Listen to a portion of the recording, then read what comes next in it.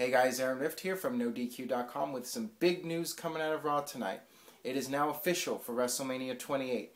Undertaker versus Triple H, Hell in a Cell. That's right. Now hopefully it'll be better than the WrestleMania 15 Hell in a Cell match between Undertaker and Big Boss Man. That shouldn't be too hard to accomplish, but we will see.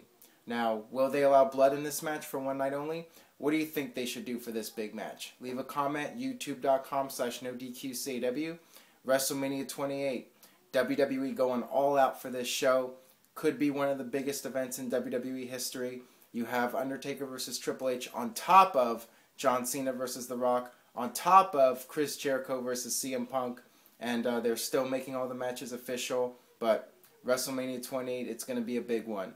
So stay tuned to NoDQ.com for the very latest, and stay tuned to the YouTube channel for more No DQ&A video coming this week.